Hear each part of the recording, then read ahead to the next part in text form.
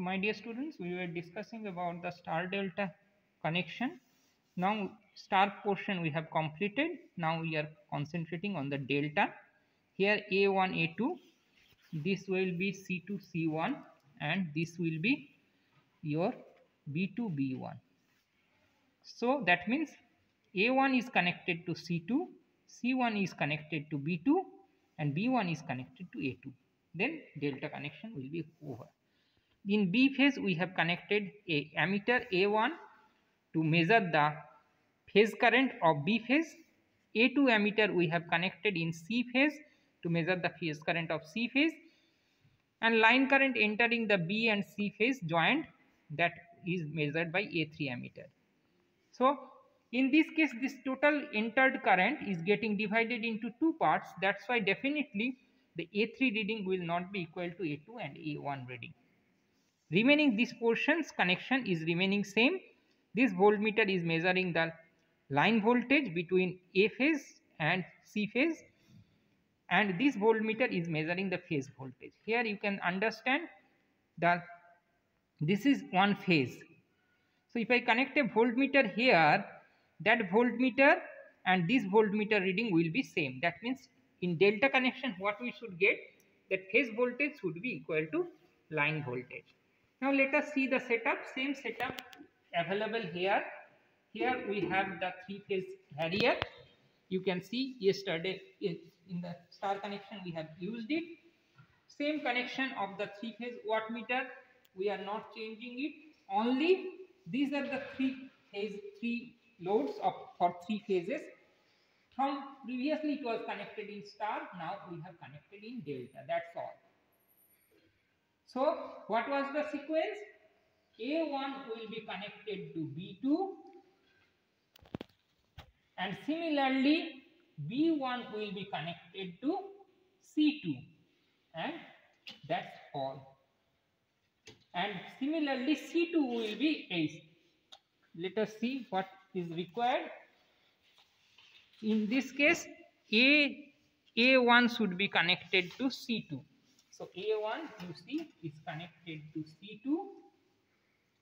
A1 is connected to C2. Then what we require? Your C1 should be connected to B2. Let us see. C1 is connected to um, C1 should be connected to B2. Let us see. C1 will be connected through ammeter to B2. So from C1 it is going to ammeter A2. From ammeter A2 it is coming to where you see B2. So C1 is connected to B2. Then B1 will get go to ammeter 1. Then you can see the B1 has gone to ammeter 1. This is going to ammeter 1. From ammeter it will go to from ammeter it will go to A2 ammeter it is going to heat. That is the delta connection. This A3 ammeter should be line connected. So from L to from L this should come to from L you can see here from L it should come to A3 ammeter. you see and from there it is going to where it will go to the joint of B2 is going to join the junction of this voltmeter is connected. This voltmeter is connected between which two terminals between two phases. You can see two phases. Between r phase and y phase. So r phase and y phase. So this is voltmeter. Line voltage. It is measuring phase voltage is being measured by this one. So this is connected to B2 and this is connected to B1, B1 and B2. You see this voltmeter is connected between B1 and B2 means B1 and B2. phase voltage, line voltage, line current, phase current, phase current. Now I am switching on the supply, power supply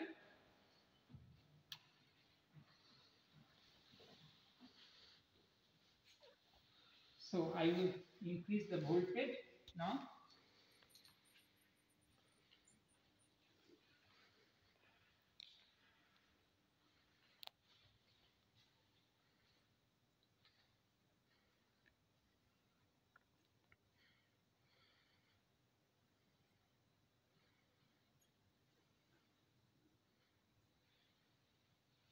So you can see the line current is 0.6 ampere.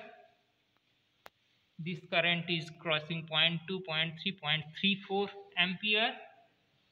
And this is also 0.3, 0.32, 0.34 ampere. Phase currents. Now line voltage. You see 51 volt. 51 volt. This is almost also 51 volt so phase voltage and line voltages are equal in this case. So in delta connected load 50 percent. So this is 51 volt 51 volt line current 0.6 ampere phase current 0.34 ampere. Now we will have to find out this ratio. We will have to find out the wattmeter reading also let us see the wattmeter reading. Here the wattmeter reading is very negligible. Almost it has completed only one division.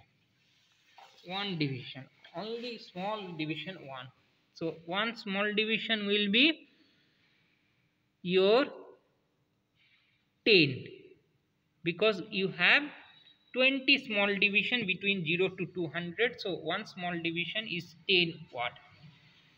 In the previous case we have shown you this is connected to 600 volt 600 volt currents are in the lower setting. Lower is 2.5 ampere because these are series connected. You see not parallel connected these plates.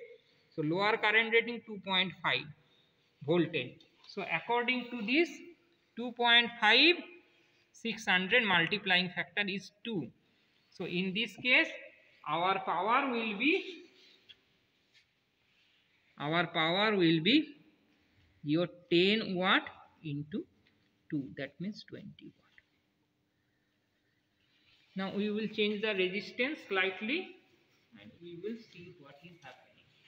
Voltage we are not changing.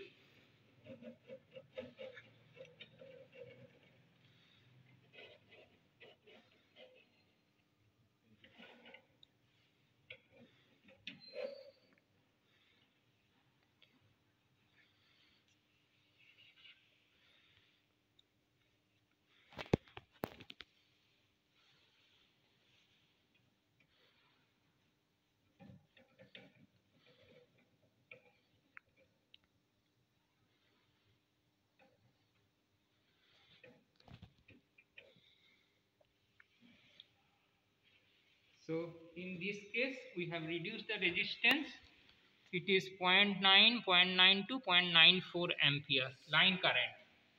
Phase current 0 0.4, 0 0.5, 52, 54, 0.54 ampere. Here also it is 0.54 ampere.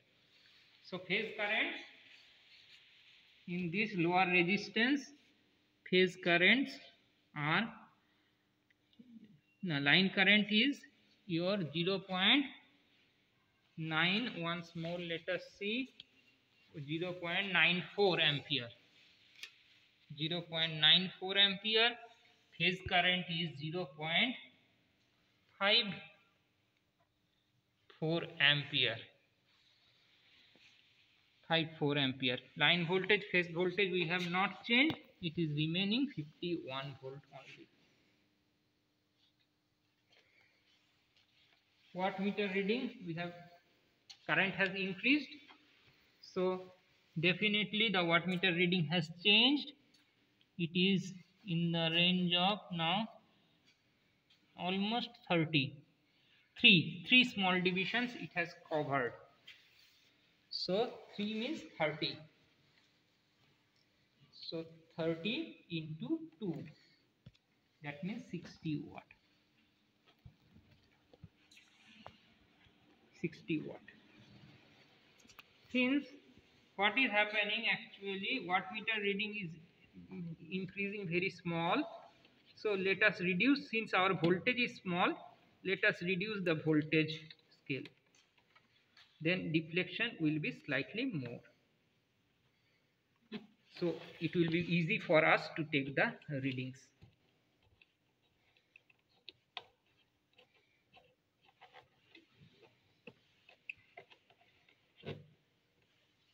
okay now since it is connected to 300 volt and 2.5 ampere so multiplying factor is 1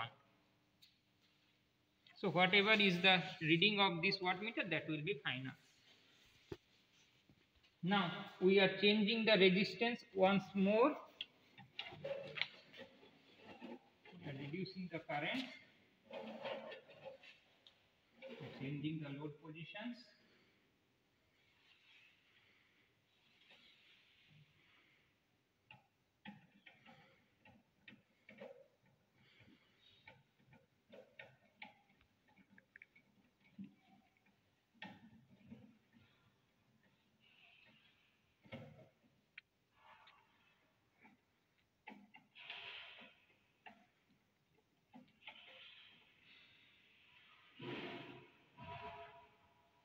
So in this case the current is line current is 0.4 then 0.5 between 0.5 and 0.52 so 0.51 ampere we can write.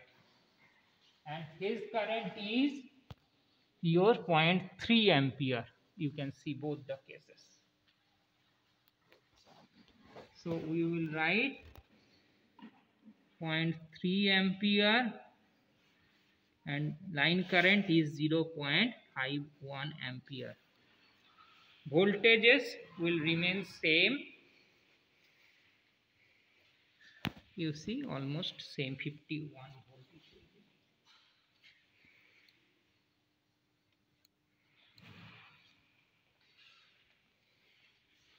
wattmeter reading now multiplying factor is 1 let us see. It is three small divisions. It has covered that means 30 watt